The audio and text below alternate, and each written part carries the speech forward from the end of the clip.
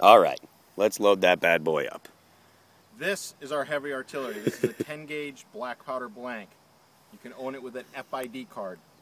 This is a Smith & Wesson 10 gauge black powder cannon, aka heavy artillery in the town of Williamsburg. we place one round inside,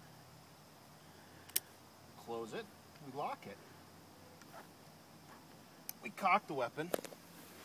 We get a safe distance away Look how long that string is. Look it. All right, ready? Okay. This is heavy artillery in the town of Williamsburg. Did not injure any trees or grass while doing so.